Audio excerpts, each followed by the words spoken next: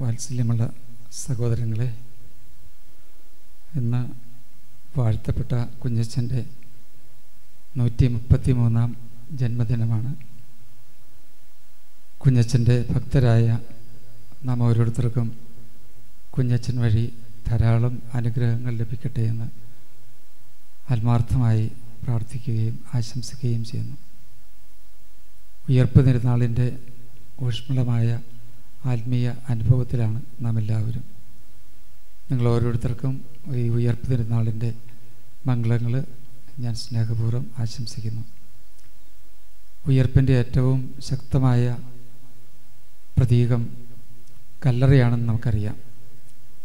നാം ഇപ്പോൾ ഒരു വാഴ്ത്തപ്പെട്ട വിശുദ്ധിയുടെ നന്മ നിറഞ്ഞ വലിയ ആചാര്യനായ കുഞ്ഞച്ചന്റെ കല്ലറയുടെ സമീപത്താണ് ഈ ബലി അർപ്പിച്ചുകൊണ്ട് ഇവിടെ ആയിരിക്കുന്നത്. ഈശോയുടെ കല്ലറയുടെ അടുത്തുകൾ ഭക്ത സ്ത്രീകളെത്തിയപ്പോൾ അവരോട് ദൈവത്തിന്റെ ദൂതൻ പറഞ്ഞു അവൻ ഇവിടെ ഇല്ല. കുഞ്ഞച്ചന്റെ കാര്യവും ഇതുപോലെ തന്നെയാണ്. കുഞ്ഞച്ചൻ ഇവിടെ ഇല്ല ഉയർത്ത് എഴുന്നേറ്റിരിക്കുന്നു. നമ്മൾ മരിച്ചുപോയ കുഞ്ഞച്ചനെയല്ല ഓർമ്മിക്കുന്നത്.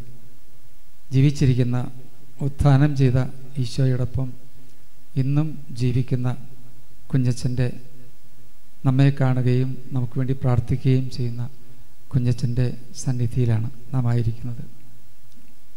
ഈശോയുടെ ഉയർപ്പിന്റെ അർത്ഥം എന്താണ് ആ അർത്ഥം തന്നെ കുഞ്ഞച്ചന്റെ ഉയർപ്പിനും ഉണ്ട് എന്ന് നമുക്ക് മനസ്സിലാക്കാൻ കഴിയും.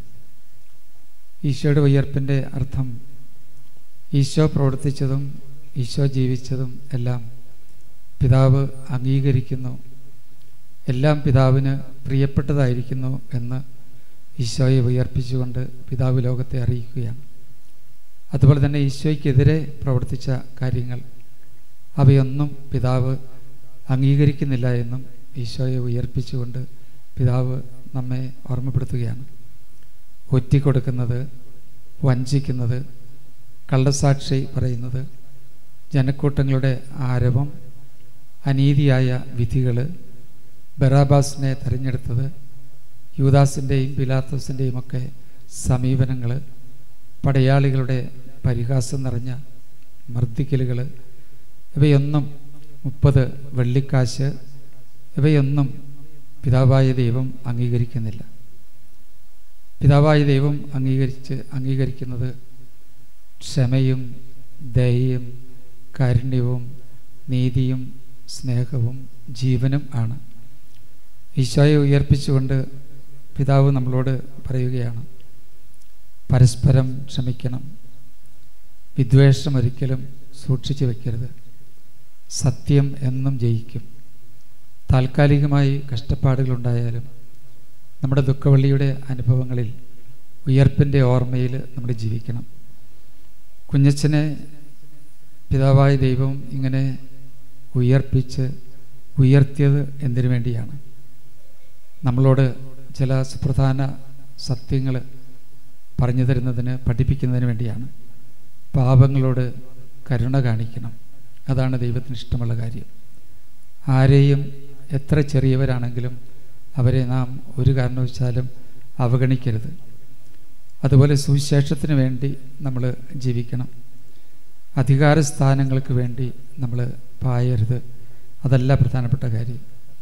നന്മ ചെയ്യുന്നതിന് ഒരു അധികാര സ്ഥാനവും ആവശ്യമില്ല. നമ്മൾ ദൈവത്തോട് സഹകരിച്ചാൽ മാത്രം മതി.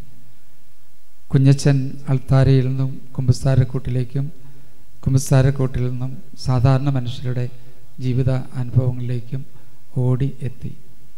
വിശുദ്ധ കുർബാനയിൽ നിന്നും സ്വീകരിച്ച ചൈതന്യമാണ്. വലിയൊരു മാറ്റം ഒരു സമൂഹത്തിന് മുഴുവനും ഈശോയുടെ സ്നേഹവും ഈശോയുടെ നന്മയും ഒക്കെ കൊടുക്കുവാൻ കുഞ്ഞച്ചനെ പ്രാപ്തനാക്കിയത്. ഒരു വിശുദ്ധനായ ജോൺ വിയാനി പിണ്ണിവാൻ പറയുന്നുണ്ട് ദൈവത്തെ ശുശ്രൂഷിക്കുന്നതിന് ഒരു വഴിയേ ഉള്ളൂ. അത് ദൈവം ആഗ്രഹിക്കുന്ന വിധം ദൈവത്തെ ശുശ്രൂഷിക്കുക എന്നതാണ്. കുഞ്ഞച്ചൻ ദൈവം എന്താണ് ആഗ്രഹിച്ചത് ആഗ്രഹിക്കുന്നത് എന്ന് തിരിച്ചറിഞ്ഞു. അതാണ് യഥാർത്ഥത്തിൽ ദൈവത്തെ സ്നേഹിക്കാനുള്ള വഴി എന്ന് മനസ്സിലാക്കിക്കൊണ്ട് ആ വഴിയിലൂടെ യാതൊരു മടുപ്പും കൂടാതെ അദ്ദേഹം സഞ്ചരിച്ചു. നമ്മുടെ ഇഷ്ടമനുസരിച്ച് നമുക്ക് താല്പര്യമുള്ള കാര്യങ്ങൾ അത് നിർവഹിക്കുന്നതല്ല. നമുക്കിഷ്ടമില്ല എങ്കിൽ കൂടി നമുക്കതിന് പ്രത്യേകമായ ഒരു സിദ്ധി ഇല്ല എങ്കിൽ കൂടി ദൈവം എന്താഗ്രഹിക്കുന്നുവോ അത് ചെയ്യുന്നതിന് അതിനുവേണ്ടി ജീവൻ ജീവിതം അർപ്പിക്കുന്നതിന് തയ്യാറായാൽ അത് ജീവിതത്തെ വലിയ അനുഗ്രഹങ്ങളുടെ കലവറയാക്കി മാറ്റുമെന്ന് കുഞ്ഞച്ചൻ നമ്മെ ഓർമ്മപ്പെടുത്തുകയാണ്. കുഞ്ഞച്ചന്റെ വാഴ്ത്തപ്പെട്ട കുഞ്ഞച്ചന്റെ ജീവിതം അയർലൻഡിന്റെ സ്വർഗീയ മധ്യസ്ഥനായ വിശുദ്ധ പാട്രിക്കിന്റെ ഒരു പ്രാർത്ഥനയുണ്ട്. ആ പ്രാർത്ഥനയിൽ കുഞ്ഞച്ചന്റെ ജീവിതം മുഴുവനും സംഗ്രഹിക്കാൻ കഴിയുമെന്ന് ഞാൻ വിചാരിക്കുകയാണ്. ആ പ്രാർത്ഥന ഇംഗ്ലീഷിലെ പ്രകാരമാണ്. ക്രൈസ്റ്റ് വിത്ത് മീ ക്രിസ്തു എന്നോട് കൂടി. ക്രൈസ്റ്റ് ബിഫോർ മീ ക്രിസ്തു എന്റെ മുമ്പിൽ. ക്രൈസ്റ്റ് ബിഹൈൻഡ് മീ ക്രിസ്തു എന്റെ പിന്നിൽ. ക്രൈസ്റ്റ് വിത്തിൻ മീ ക്രിസ്തു എന്റെ ഉള്ളിൽ. ക്രൈസ്റ്റ് ബിനീത്ത് മീ ക്രിസ്തു എന്റെ താഴെ. ക്രൈസ്റ്റ് അബാവ് മീ ക്രിസ്തു എന്റെ മുകളിൽ. ക്രൈസ്റ്റ് ഓൺ മൈ റൈറ്റ് ക്രിസ്തു എന്റെ വലതുവശത്ത്. ക്രിസ്തു എന്റെ ഇടതുവശത്ത്. ഞാൻ എഴുന്നേൽക്കുമ്പോൾ ഞാൻ കിടക്കുമ്പോൾ ക്രിസ്തു. ഞാൻ എഴുന്നേറ്റിരിക്കുമ്പോൾ ക്രിസ്തു. ഞാൻ സഞ്ചരിക്കുമ്പോൾ ക്രിസ്തു. സമ്പൂർണമായി ഈശോയാൽ ഗ്രസിക്കപ്പെട്ട ഒരു ജീവിതമായിരുന്നു. ഈശോ അതുകൊണ്ട് ഒരു പരിധിയുമില്ലാത്ത ഇല്ലാതെ ദുർബലമായ ആ മൺപാത്രത്തിലേക്ക് സമൃദ്ധിയിൽ സുവിശേഷ സ്നേഹത്തിന്റെ സുവിശേഷ സ്വാതന്ത്ര്യത്തിന്റെ സുവിശേഷ ശുശ്രൂഷയുടെ കൃപകൾ വർഷിച്ചു. അങ്ങനെ ക്രിസ്തുമയമായ ഒരു ജീവിതം. പ്രാർത്ഥനയുടെ ശക്തി സമ്പൂർണമായിട്ടും വാഴ്ത്തപ്പെട്ട കുഞ്ഞച്ചൻ തിരിച്ചറിഞ്ഞിരുന്നു. അദ്ദേഹത്തിന് എന്തുകൊണ്ടാണ് നമ്മളെപ്പോലെയുള്ള ആളുകൾക്ക് ഒരു വ്യക്തിയെ പോലും നമ്മുടെ ഭാര്യ അല്ലെങ്കിൽ നിങ്ങളുടെ ഭാര്യ നിങ്ങളുടെ ഭർത്താവ് നിങ്ങളുടെ മകൻ നിങ്ങളുടെ സഹോദരൻ നിങ്ങളുടെ സഹോദരി അല്ലെങ്കിൽ ഒരു കൂട്ടുകാരൻ കൂട്ടുകാരി ആ ഒരാളെ പോലും മാനസാന്തരപ്പെടുത്തുന്നതിന് മദ്യപാനത്തിൽ നിന്നും ദുശ്ശീലങ്ങളിൽ നിന്നും തിന്മയായ കൂട്ടുകെട്ടുകളിൽ നിന്നും മദ്യാസക്തി അത് അല്ലെങ്കിൽ മയക്കുമരുന്ന് പോലെയുള്ള ഭീകരമായ തിന്മകളിൽ നിന്നും ഒന്നും പിന്തിരിപ്പിക്കാൻ ഒരാളെ പോലും പിന്തിരിപ്പിക്കാൻ നമ്മുടെ വീടിനുള്ളിലുള്ള ഒരാളെ പോലും മനസ്സാന്തരപ്പെടുത്താൻ നമുക്ക് കഴിയുന്നില്ല. വാഴ്ത്തപ്പെട്ട കുഞ്ഞച്ചൻ എന്തുകൊണ്ടാണ് അയ്യായിരത്തിലധികം ആളുകളെ നിരവധി കുടുംബങ്ങളെ നിരവധി സ്ഥലങ്ങളിലുള്ള വ്യക്തികളെ ഇത്രയേറെ സ്വാധീനിക്കാൻ കഴിഞ്ഞത്.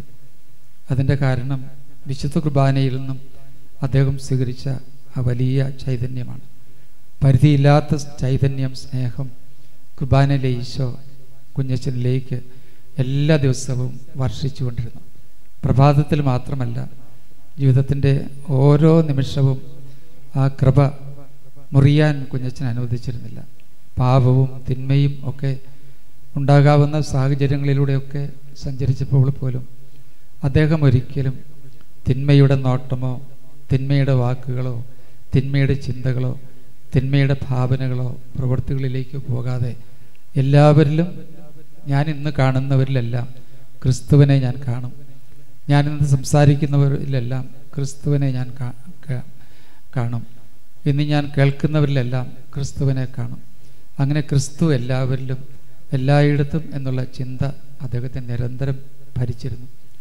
രണ്ടായിരത്തി പതിനാലിൽ നൈജീരിയയിലെ ഒരു രൂപതയിൽ ബിഷപ്പ് ഒലിവർ ഡോം എന്ന് പറയുന്ന ബിഷപ്പ് നൈജീരിയയിൽ വലിയ നമ്മൾ പത്രങ്ങളിലൊക്കെ എന്നും വായിക്കുന്നുണ്ട്.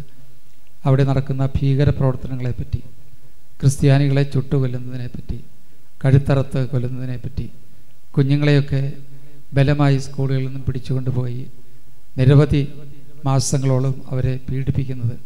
ഇങ്ങനെയുള്ള അതിനീചമായ ചുട്ടുകൊല്ലുന്നതിന്റെയൊക്കെ നീചമായ ഭീകര പ്രവർത്തനങ്ങളുടെ മധ്യേ ജീവിച്ച ബിഷപ്പാണ് ഒളിവർ ഡോ.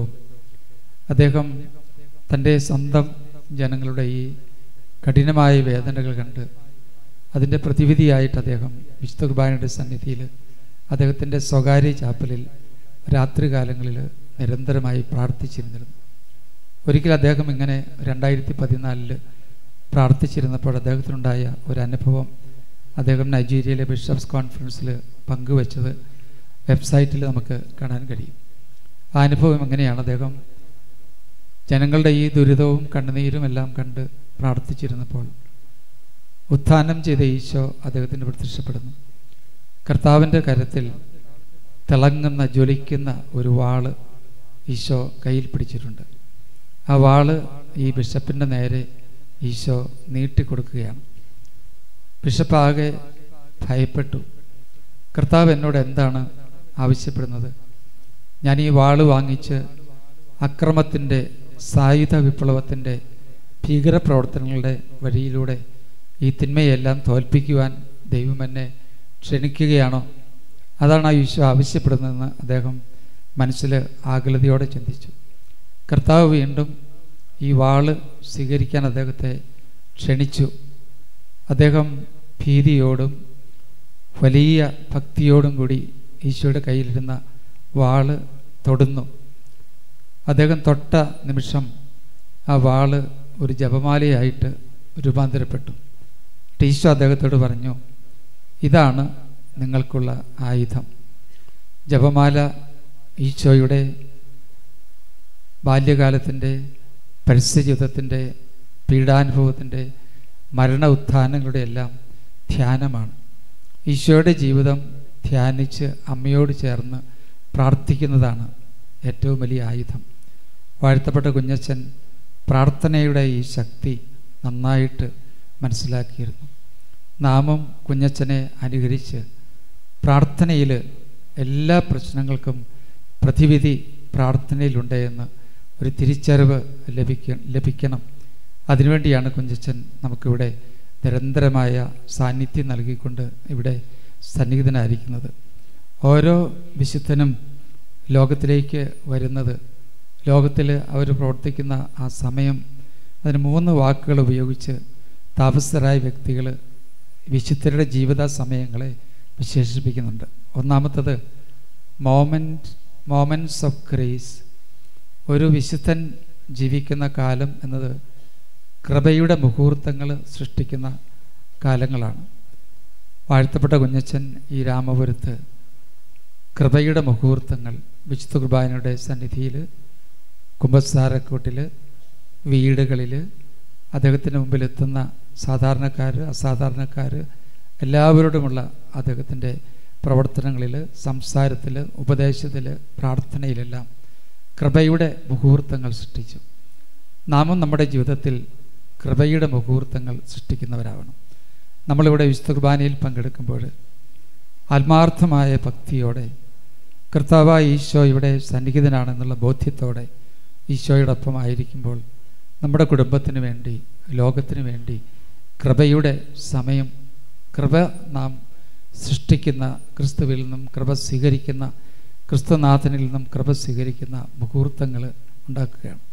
നമ്മൾ സന്ധ്യാപ്രാർത്ഥന ഭക്തിയോടെ കുടുംബങ്ങളിൽ നിർവഹിക്കുമ്പോൾ കൃപയുടെ മണിക്കൂർ നാം സൃഷ്ടിക്കുകയാണ്. നാം ഉപവസിക്കുമ്പോൾ വചനം വായിക്കുമ്പോൾ നമ്മുടെ പ്രിയപ്പെട്ടവരോട് ക്ഷമിക്കുമ്പോൾ കൃപയുടെ മുഹൂർത്തങ്ങൾ നമ്മൾ സൃഷ്ടിക്കുകയാണ്.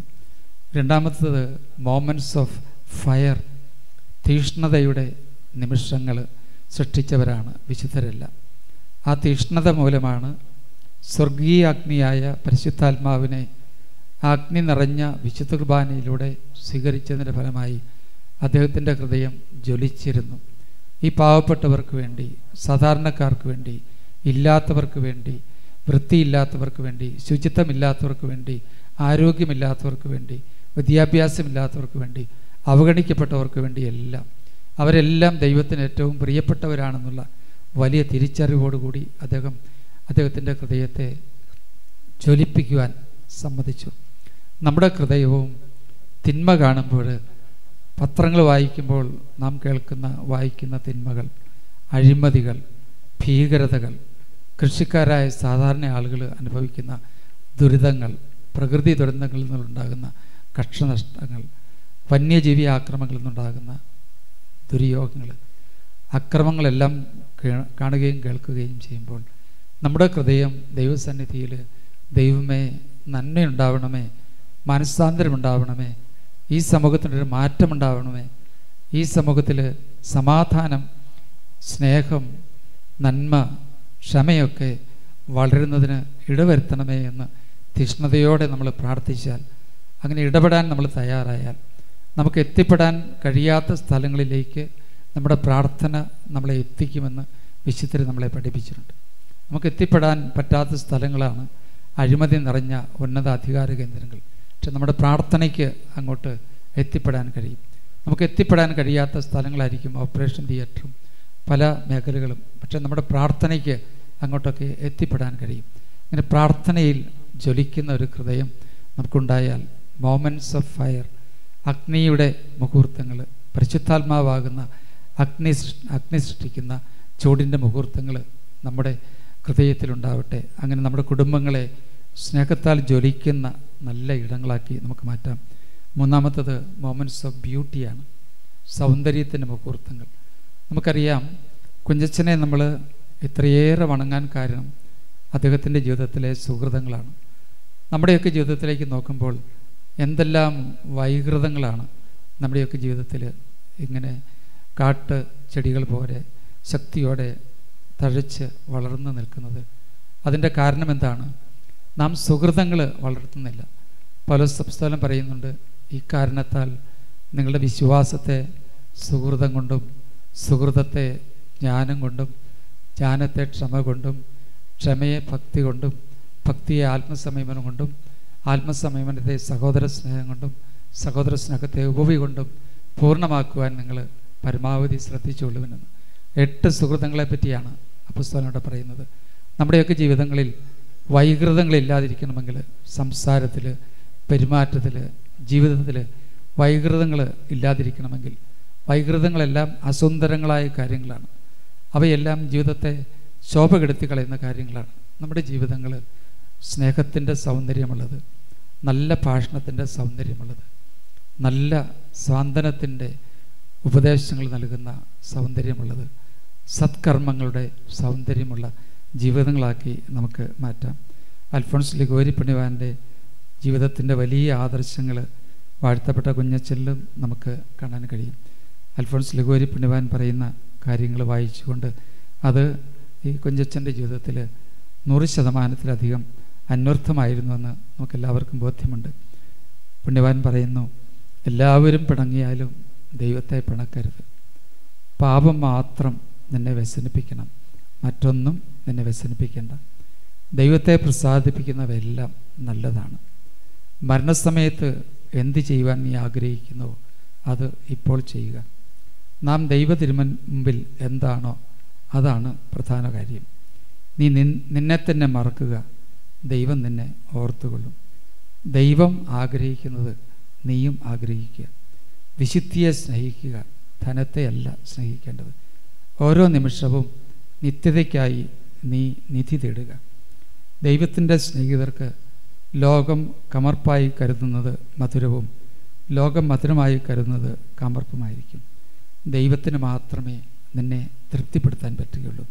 ഈ സുന്ദരങ്ങളായ ആദർശങ്ങൾ ജീവിതത്തിൽ നമുക്ക് വേണ്ടി പകർത്തി കാണിച്ച വലിയ വിശുദ്ധനായ കുഞ്ഞച്ചന് മുമ്പിലാണ് നാം ആയിരിക്കുന്നത് കുഞ്ഞച്ചനെ സ്നേഹിക്കുന്ന നമുക്ക് കുഞ്ഞച്ചന്റെ ജീവിത മാതൃകകൾ അനുകരിച്ച് ഓരോ ദിവസവും വിശുദ്ധിയുള്ള സുഹൃതമുള്ള പുണ്യമുള്ള ജീവിതം നയിക്കാൻ ശ്രദ്ധിക്കാം. നല്ല ഈശോ നമ്മളെല്ലാവരെയും വാഴ്ത്തപ്പെട്ട കുഞ്ഞച്ചൻ വഴി അനുഗ്രഹിക്കട്ടെ എന്ന് പ്രാർത്ഥിക്കുന്നു. ദൈവം അനുഗ്രഹിക്കട്ടെ. ആമേൻ.